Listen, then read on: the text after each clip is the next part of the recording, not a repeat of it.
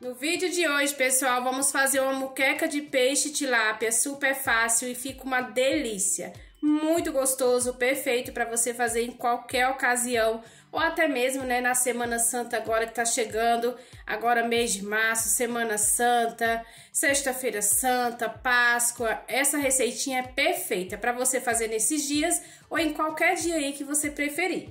E aí, pessoal, eu temperei esse tilápia que tem um tilápia, tá? Um pouquinho mais de um quilo. Temperei com limão e ervas, um temperinho que vem de limão e ervas. Se você não tiver esse tempero, pode ser o lemon pepper. Temperei também com sal, quatro dentes de alho. Aí eu coloquei um pouquinho do alho que eu triturei aqui e reservei um pouquinho para refogar aqui na frigideira, tá? Acrescentei também um limão espremido e pimenta do reino e sal. Então agora, bora começar o preparo dessa moqueca aqui na frigideira que é deliciosa. Aqui na frigideira já acrescentei um pouco de azeite, se você preferir o óleo pode ser também. Lembrando que todos os ingredientes, pessoal, eu vou deixar abaixo aqui no vídeo o nome e a quantidade certinho que eu utilizei aqui, tá bom? Vamos deixar esse alho refogar bem. O alho refogou bem, agora vou fazer uma caminha com a cebola aqui na frigideira. Aqui eu tenho duas cebolas grandes cortadas em rodelas e vou utilizar só a metade aqui é, pra fazer essa caminha aqui na frigideira, tá, pessoal? Agora eu venho com dois tomates grandes maduros, cortei em rodelas também. Acrescento pimentão, aqui eu tenho metade de um pimentão amarelo, metade de um pimentão verde e metade de um pimentão vermelho. Pessoal, vou desligar aqui o fogo, tá? Tô com medo de queimar aqui, então desliguei aqui um pouquinho. Aí eu vou acrescentando assim, ó, misturado, tá? O vermelho, o amarelo e o verde. Agora, venho com o peixe. Lembrando, pessoal, que minhas mãos estão limpinhas e é aqui pro consumo de casa mesmo. Se você for fazer aí pra mais gente ou pra fora, né? Aí usa uma luvinha, tá? Acrescentei todo o peixe, vou ligar o fogo e permanecer no fogo baixo. Esse temperinho aqui, ó, que é do peixe, tem limão aqui também, vou acrescentar aqui por cima. Um pouquinho de coloral, esse coloral é bem forte, então eu acrescento bem pouco. Páprica picante. Lembrando, pessoal, que tempero é a gosto, tá? Vocês podem acrescentar os temperinhos que vocês gostam aí chimichurri. Eu gosto de tudo bem temperado. Agora a gente vai finalizar com a cebola, o tomate e os pimentões.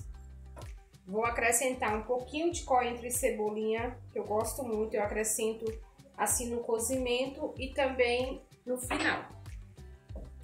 Aí venho com a cebola,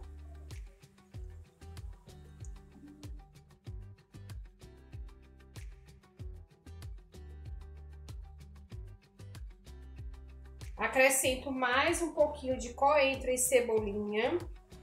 Lembrando, pessoal, que já tem sal, né? Quando, quando eu fui temperar, eu acrescentei sal. A quantidade é a gosto. E aí, depois de cozido, eu vejo se precisa acertar o sal. Vou cobrir a frigideira, não precisa acrescentar água, tá? Vou cobrir a frigideira e deixar aqui cozinhando por 10 minutos Daí eu venho com o próximo ingrediente que vai fazer toda a diferença nessa moqueca.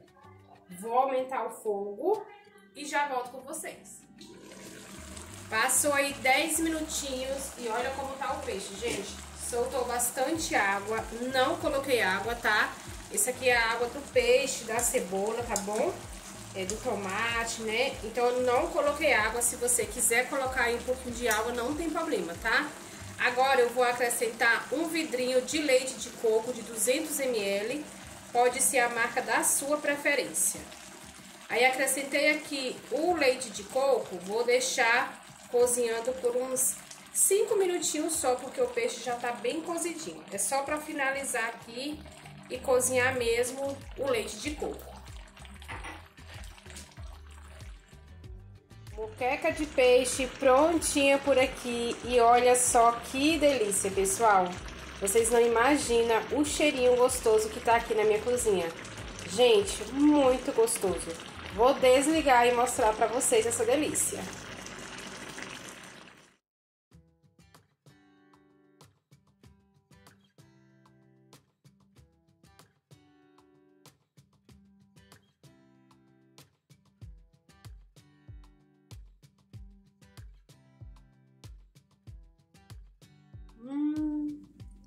Que delícia, pessoal. Bem saboroso, bem temperadinho. Nossa, muito gostoso, gente, sério. Faz essa receitinha aí. Eu tenho certeza que vocês vão gostar demais. Olha esse peixe, gente. Olha a suculência. Gente, que delícia.